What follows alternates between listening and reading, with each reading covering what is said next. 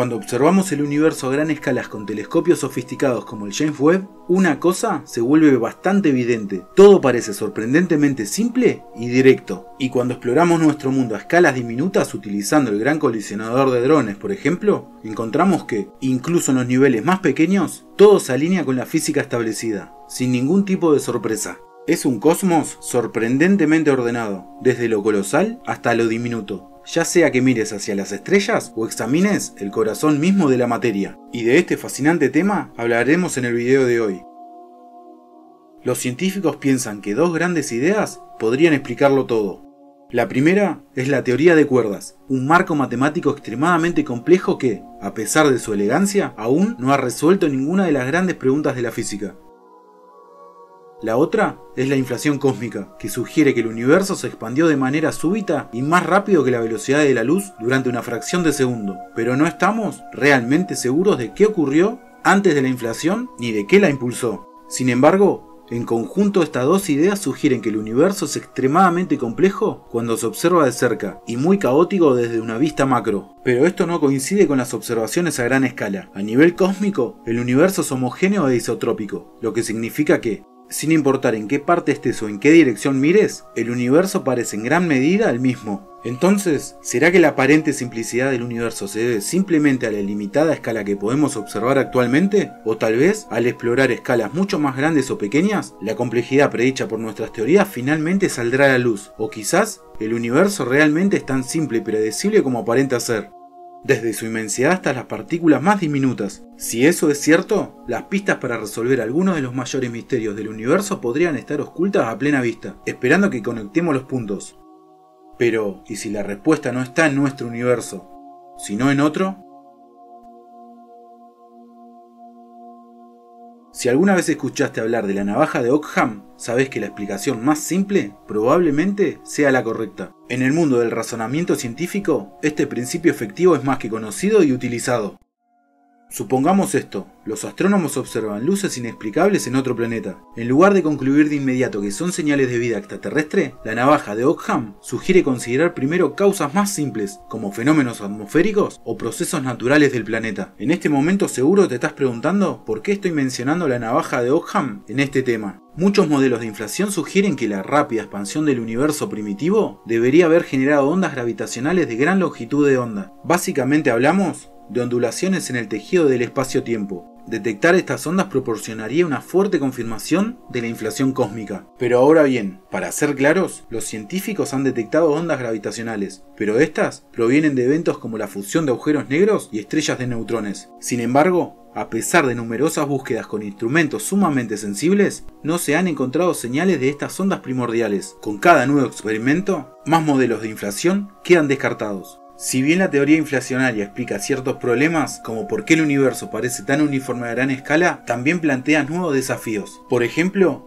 ¿Qué campo de energía impulsó realmente la inflación? Esta teoría requiere que el universo haya comenzado con condiciones iniciales muy específicas. Pero ¿por qué existirían esas condiciones en primer lugar? Algunos modelos inflacionarios sugieren la existencia de infinitos universos, lo que plantea preguntas filosóficas y científicas sobre su testabilidad y la naturaleza misma de la realidad física.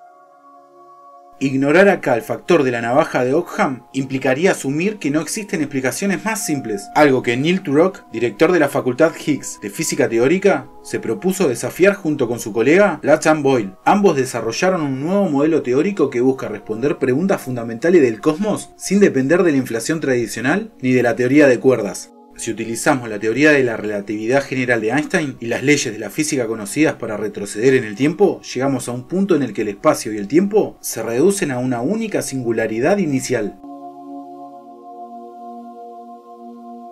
Para comprender este estado extremadamente denso y caliente del inicio del universo, teóricos como el ganador del Nobel Roger Penrose identificaron una simetría clave en las leyes de la luz y las partículas sin masa. Esta simetría, llamada simetría conforme, sugiere que ni la luz ni las partículas sin masa experimentan la contracción del espacio en el Big Bang. Esto les permitiría evitar las condiciones extremas que afectan a todas las demás formas de materia. Imagina esto, una lámina de goma elástica con un dibujo. Si la estirás o la comprimís, el tamaño del dibujo cambia, pero la forma sigue siendo la misma. La simetría conforme implica que el universo podría tener una estructura similar, manteniéndose inalterado sin importar cómo se escale. Esta propiedad podría significar que, en lugar de haber sido moldeado por un evento explosivo como la inflación, la uniformidad del universo surgió de forma natural a partir de esta simetría. Turok y Boyle propusieron que la singularidad inicial, en lugar de ser un punto de origen unidireccional, actúa como un espejo en el tiempo. En un lado, el tiempo fluye hacia adelante y en el otro fluye hacia atrás, como un reflejo cósmico. Este espejo en el Big Bang se alinea con la idea de que todo proceso físico tiene una contraparte reflejada, donde el espacio-tiempo y las partículas están invertidas, cumpliendo así con la simetría CPT, un principio fundamental de la naturaleza. Imagina esto, el universo como un gran escenario donde las partículas actúan en una obra de teatro. En esta obra hay tres reglas especiales. Carga, paridad y tiempo.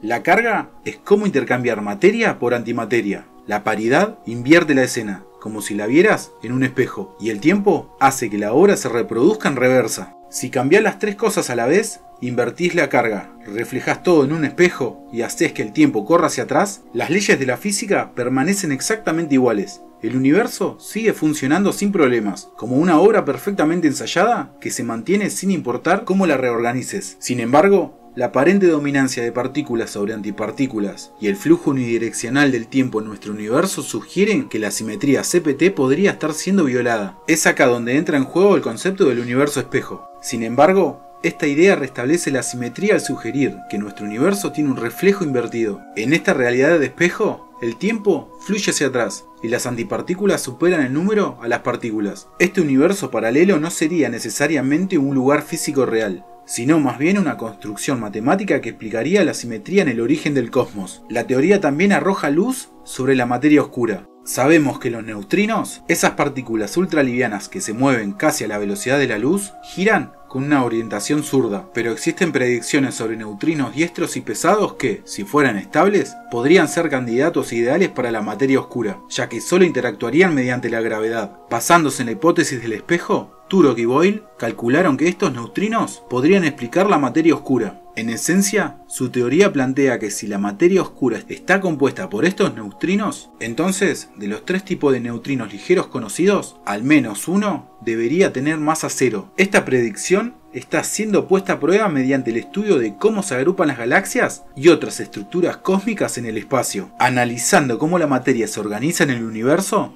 podríamos obtener pistas sobre la masa de los neutrinos y con ello confirmar o refutar esta teoría sobre la materia oscura. Estos científicos también abordaron otro gran enigma. ¿Por qué el universo parece ser tan plano y uniforme a gran escala? Su respuesta se basa en la entropía, el concepto que describe qué configuraciones son más probables en un sistema. Descubrieron que un universo en expansión rápida con una pequeña aceleración positiva es el estado más probable en términos estadísticos. Además, demostraron que las variaciones de densidad tradicionalmente atribuidas a la inflación podrían explicarse mediante campos cuánticos. A pesar de lo prometedor del modelo, aún se necesita más investigación para confirmar su validez científica. Visualizar el Big Bang como un espejo explica de manera elegante muchas características del universo que de otro modo entrarían en conflicto con las leyes más fundamentales de la física. Escribió Turok en su publicación en Annals of Physics. Esta es una revista científica revisada por pares que cubre todos los aspectos de la física. Fue fundada en 1957 y es una de las más importantes y prestigiosas del mundo. Los avances que hemos logrado me convencen de que, con toda probabilidad, existen alternativas a la ortodoxia actual, la cual se ha convertido en una camisa de fuerza de la que debemos liberarnos, cerró el científico. Si bien queda mucho por investigar, Turok señala que, incluso si su teoría resulta incorrecta, abre la puerta a explicaciones más simples que las del modelo estándar. ¿Qué opinas de esta idea? Déjamelo saber en los comentarios. Y como siempre, suscríbete al canal, porque este es tu espacio.